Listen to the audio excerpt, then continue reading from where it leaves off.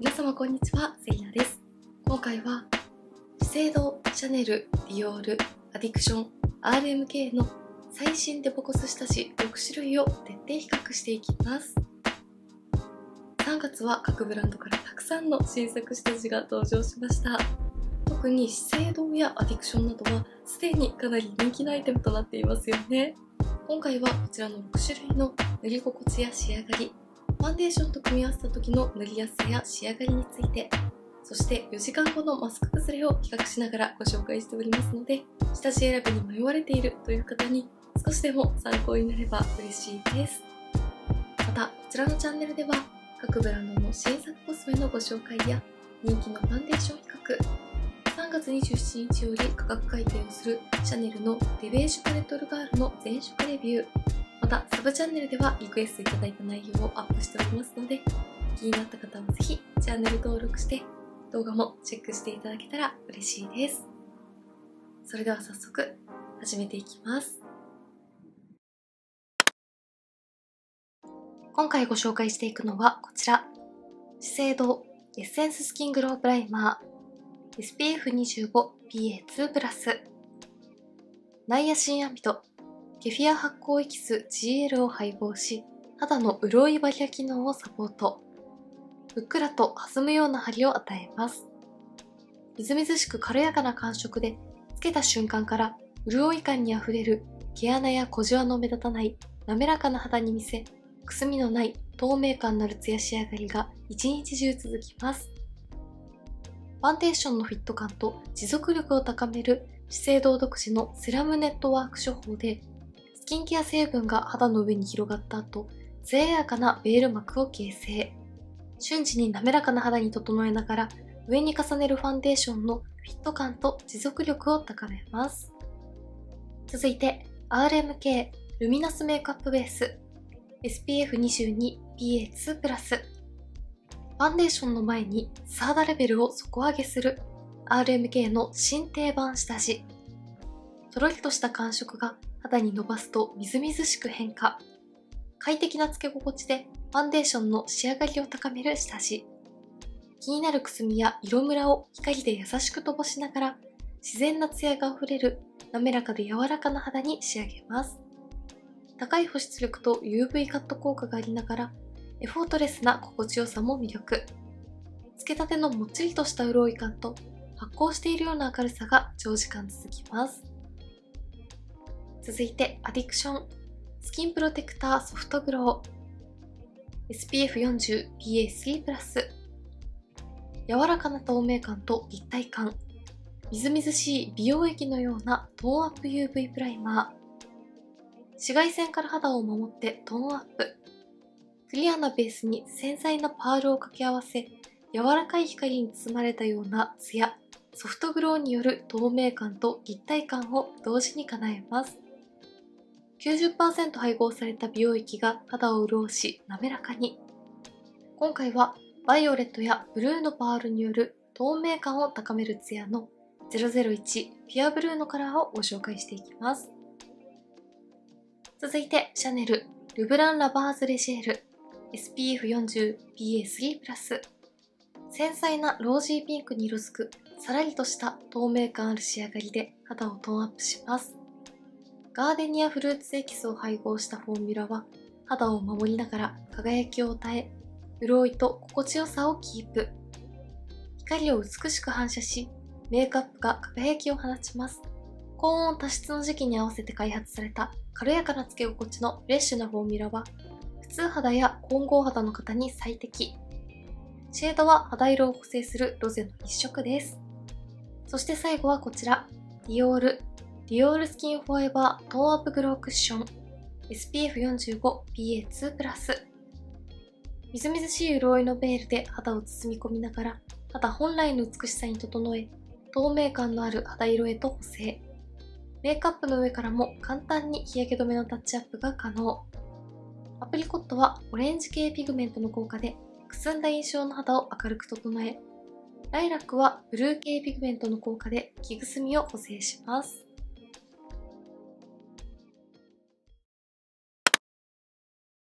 まず比較していくのはこちら。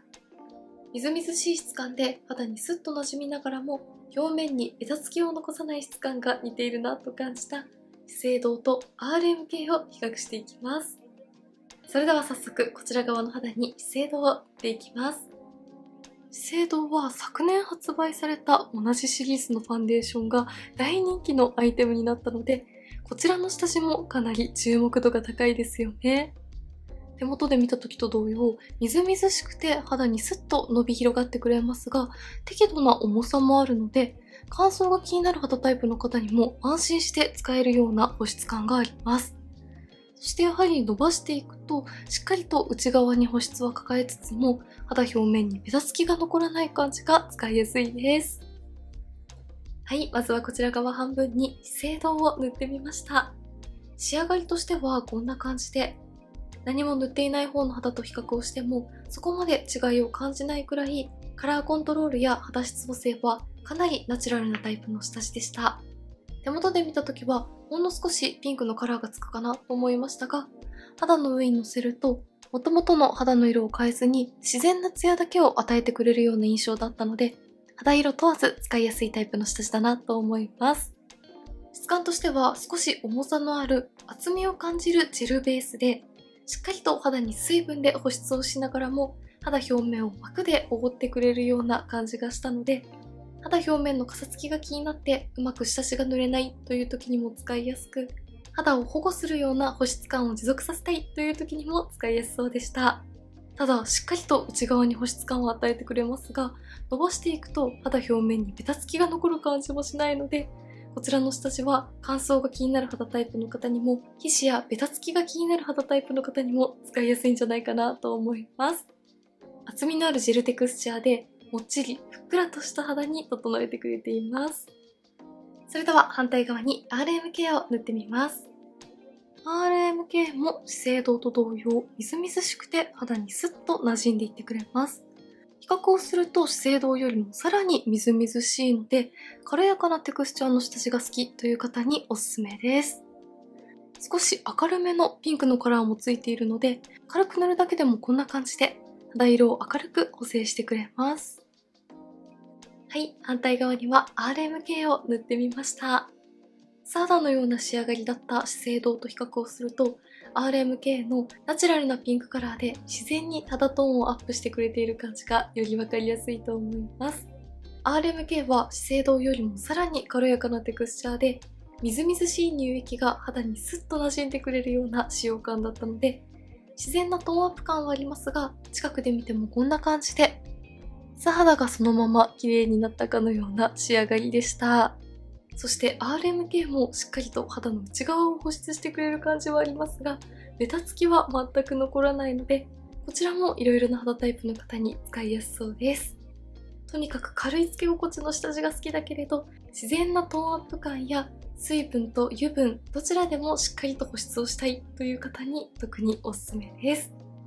これだけ軽いつけ心地なのに保湿感やカラー補正効果などいろいろな機能が詰まっているのはすごく優秀だなと思いました。それぞれアップで比較するとこんな感じです。下地のみの時点だとどちらもかなりサーダに近いような仕上がりです。そしてそれぞれの香りについては資生堂はフローラル系のスキンケアのような香りがほんのりとする程度 RM 系は原料のような香りがする程度なのでどちらも比較的使いやすいと思います。それではこの上にファンデーションを塗ってみてどんな感じの違いがあるのかを見ていきます。今回使用していくのはこちら。ルナソルの新作ファンデーション。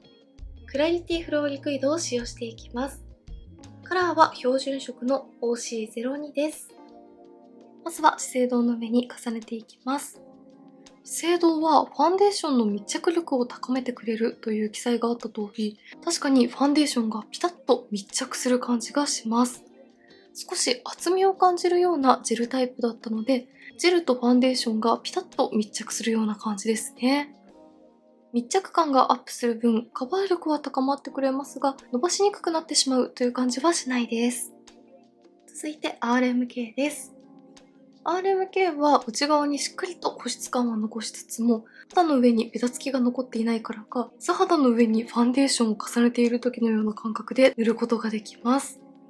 ファンデーションの質感を変えたくないという時に活躍してくれそうです。はい、こちら側に資生堂、反対側に RMK の下地を塗って、上からルナソルのファンデーションを重ねてみました。ファンデーションを重ねると、よりそれぞれの下地の特徴の違いがわかりやすくて、資生堂は厚みのあるジェルテクスチャーにファンデーションがピタッと密着するからか、ファンデーションのカバー力が増していって、近くで見てもこんな感じで毛穴や凹凸、そして赤みや色ムラを感じさせないハイカバーな仕上がりに整えてくれました。反対に RMK はかなり自然ですが、内側からほんのりとピンクに発光するようなツヤを感じられるので、ファンデーションに自然なツヤ感をプラスしたいという時におすすめでした。引きで見るとより RMK の自然なツヤ感がわかりやすいと思います。どちらの下地も肌にしっかりと水分を与えつつ、程よい油分感もあって保湿力をキープしてくれる感じだったので、ファンデーションを塗りやすい肌に整えてくれていましたが、資生堂の方が密着感もありつつも伸ばしやすい印象。RMK は肌表面にベタつきが全く残らないような質感だったので、ファンデーションも肌にスッと馴染んでいく感じがする分、組み合わせるファンデーションによっては少しだけ塗りにくいと感じる方もいらっしゃるかもしれません。資生堂も RMK も下地のみの時点だとかなりナチュラルな仕上がりでしたが、ファンデーションを重ねることでよりそれぞれの良さを実感できるような下地だなと思いました。どちらの仕上がりもとても綺麗ですよね。それぞれアップで比較するとこんな感じです。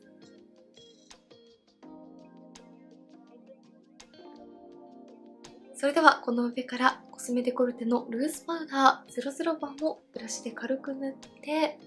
4時間ほどマスクのまま過ごして崩れ方にどんな感じの違いがあるのか見ていきたいと思います。どちらもしっかりと保湿感はありつつも肌表面にベタつきが残らない仕上がりだったので崩れもかなり期待できそうです。はい、あれから約4時間ほどマスクのまま過ごしましたので崩れについて見ていきたいと思います。マスクの中の肌はこんな感じでした。このくらいの距離で見ると、どちらもテカリや崩れを感じさせない、塗りたての時のままを保ってくれている感じがしますよね。近くで見るとこんな感じで、資生堂は少し厚みがあるジェルテクスチャーだったからか、ほんの少しだけマスクが当たる部分の摩擦が気になるのと、反対に RMK はマスクの摩擦は気にならないですが、ファンデーションが若干薄まっていく感じが気になりました。それでもどちらも小鼻の横に皮脂やベタつきが出ている感じもなく、かなり綺麗に保ってくれているなと思います。成分と油分、どちらもバランスよく感じるような保湿感がありながらも、ここまで崩れに強いのはとても優秀な下地なんじゃないかなと思いました。それぞれアップで比較するとこんな感じです。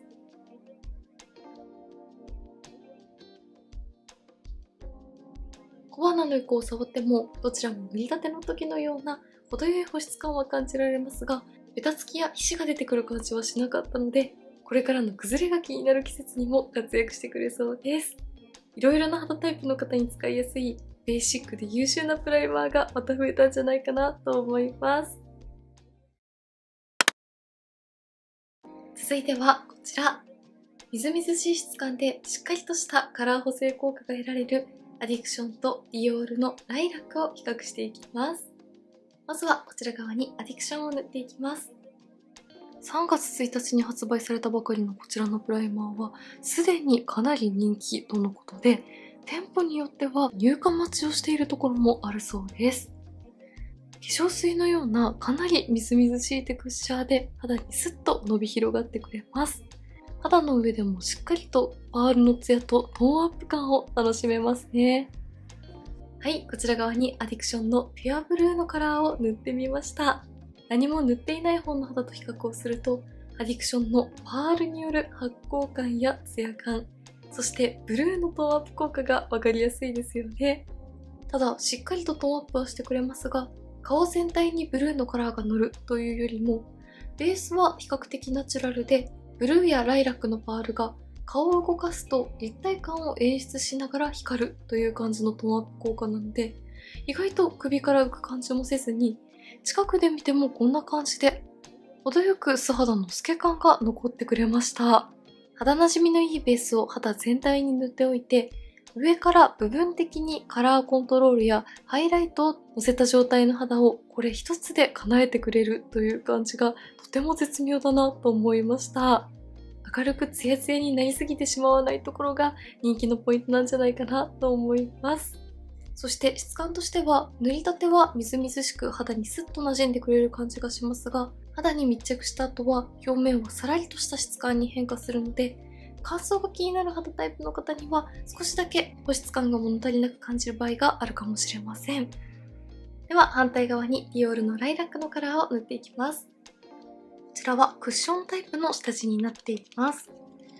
みずみずしく肌に保湿感を与えながら程よく膜感もあるので肌表面をつるんと滑らかに見せてくれる効果もあってとても綺麗です。クッションタイプの下地は手軽に均一に塗ることができるのでベースメイクを塗るのが苦手という方にもかなりおすすめです。はい、こちら側にはディオールのライラックを塗ってみました。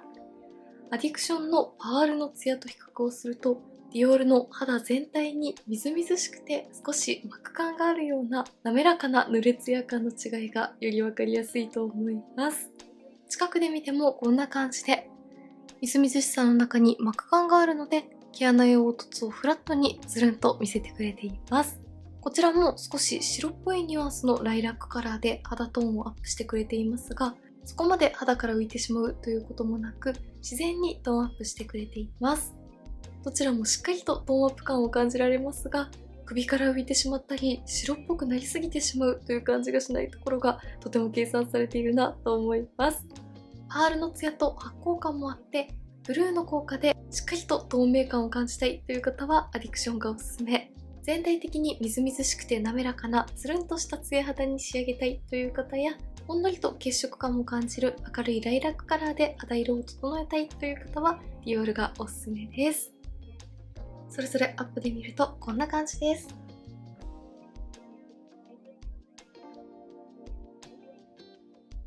それではこの上からルナソルのファンデーションを塗っていきます。まずはアディクションの上に重ねていきます。やはりアディクションは肌表面にベタつきを全く残さない質感だったので、ファンデーションもスッと肌に馴染んでいく感じがします。ただそこまで手が止まってしまったり、塗りにくいという感じはしないです。続いてディオールです。ディオールはみずみずしさと滑らかさを感じるような質感なので、組み合わせるファンデーションを選ばずに塗りやすいです。はい、こちら側にはアディクション、反対側にはディオールのライラックを塗って、上からルナソルのファンデーションを重ねてみました。今回使用したファンデーションがカバー力が高いタイプだったからか、どちらもそこまでカラー補正効果が強く残っているという感じではなく、内側からほんのりと明るさやツヤを出してくれているような仕上がりになりました。それでもやはり比較をしてみると、アディクションは少しクールな印象の肌、ディオールは明るさの中に血色感もほんのりと感じられる仕上がりの違いがわかりやすいと思います。近くで見てもこんな感じで、アディクションは軽くてさらりと肌に馴染むようなタイプの下地だったからか、ファンデーションのカバー感が変わってしまうということもなく、比較的ナチュラルに仕上がっています。顔を動かすと高い位置にパールのツヤをしっかりと感じることができます。反対に塗っているディオールも程よく毛穴や凹凸はカバーしつつも、ファンデーション自体のカバー力を大きく変えずに仕上がっています。こちらも顔を動かすと全体に滑らかなツヤを感じることができます。それぞれアップで比較するとこんな感じです。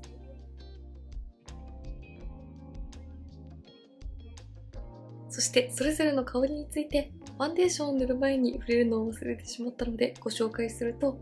アディクションはハーブ系のスキンケアのような香りを少し強めに感じる印象。ディオールはフローラル系のスキンケアの香りをほんのりと感じる印象でした。香りの強さ自体はディオールの方が弱い印象でしたが、アディクションも香り自体がそこまで強い感じではないので、こちらの2つも比較的使いやすいんじゃないかなと思います。それでは、コスメデコルテのルースパウダーを塗って、4時間後のマスク崩れを見ていきたいと思います。はい、あれから約4時間ほど過ごしましたので、崩れについて見ていきたいと思います。マスクの中の肌はこんな感じです。アディクションとディオールもこのくらいの距離で見るとテカリや崩れが気にならなくて綺麗に保ってくれていますよね。近くで見るとこんな感じでアディクションは小鼻の横などにテカリやファンデーションが溜まってしまう感じは気にならなかったですが、マスクがよく当たる位置のファンデーションのハゲが気になる印象。ディオールはファンデーションを何度か重ねたところは少し薄まっている感じはしますが、こちらは全体的にマスクの摩擦やテカリにも強い印象でした。それぞれアップで見るとこんな感じです。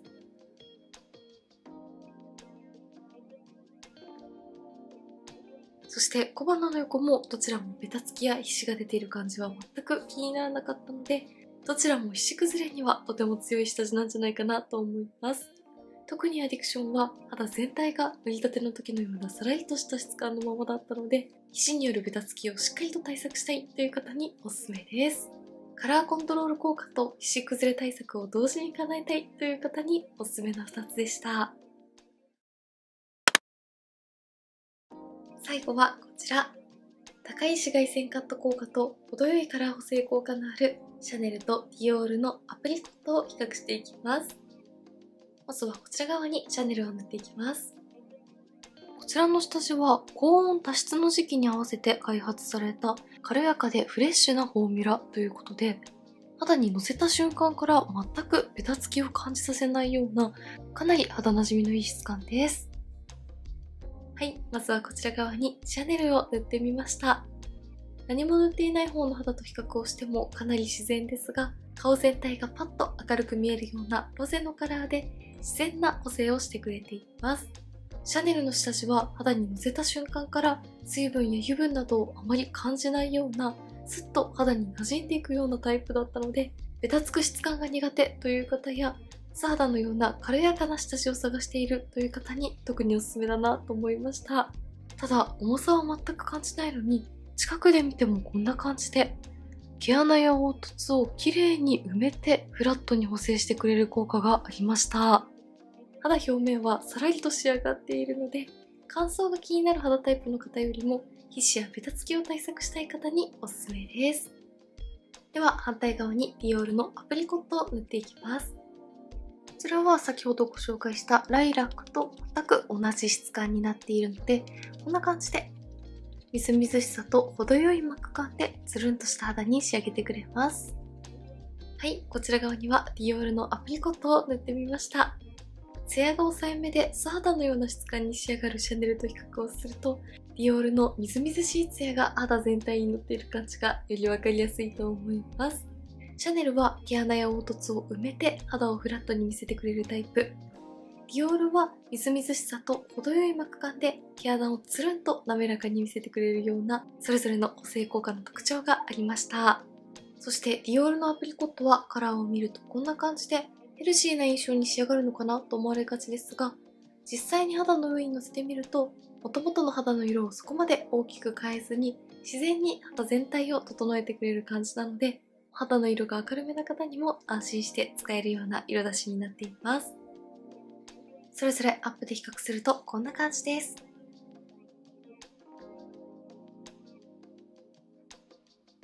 そしてそれぞれの香りについてはシャネルは少し甘さを感じるようなフローラル系の香りがしっかりと香る印象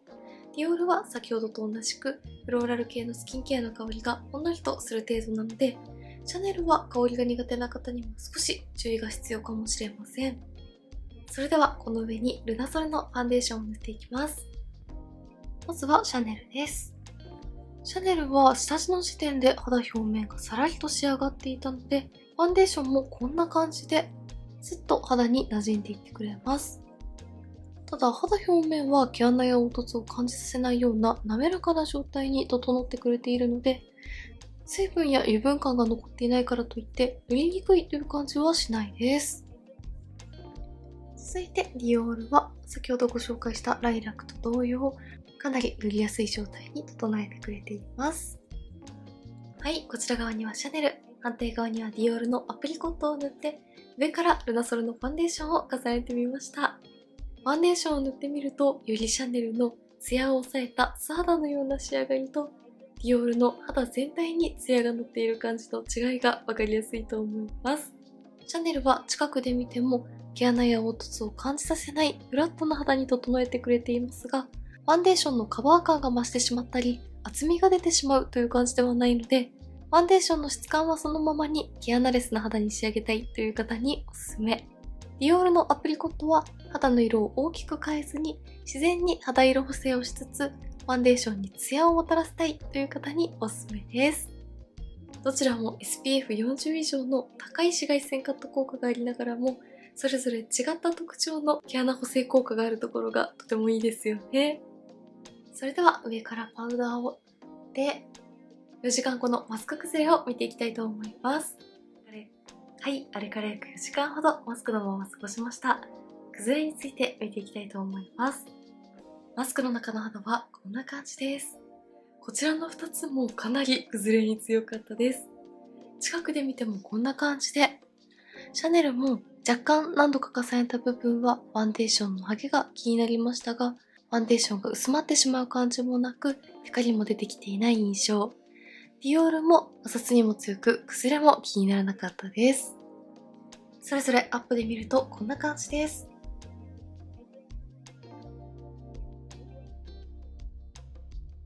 小鼻の横なども全くベタつきを感じずに、特にシャネルは肌全体がさらりとしたままだったので、テカリやベタつきをしっかりと防ぎたいという方に特におすすめです。今回ご紹介した新作下地はどれも皮脂やベタつきにかなり強かったなと思いました。はい、ではこんな感じで3月発売の新作下地6種類をご紹介していきました。今回ご紹介した6つはどれも皮脂崩れやベタつきにかなり強くて夏に向けても大活躍してくれるアイテムばかりなんじゃないかなと思いました。とても優秀な新作ばかりでしたので気になった方はぜひチェックしてみてください。メイクについてのご質問やこんな動画が見たいなどございましたら、気軽にコメントやチャンネル登録していただけると嬉しいです。それでは最後までありがとうございました。